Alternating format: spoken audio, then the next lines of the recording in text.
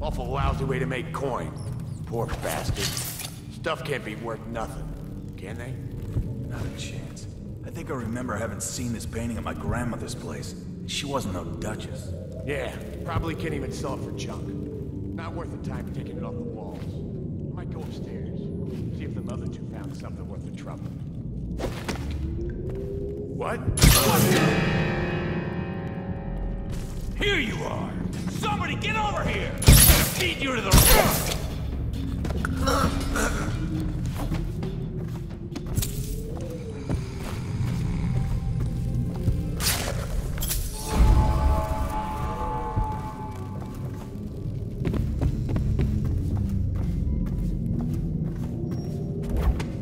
Come on, Stu. One more try.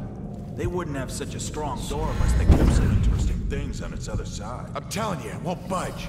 Not even a bit. And I think I bruised out my shoulder. Stop your crying and give another shove. Just imagine what could be behind it. That'll get you through the pain. If you're so sure, then you shove it.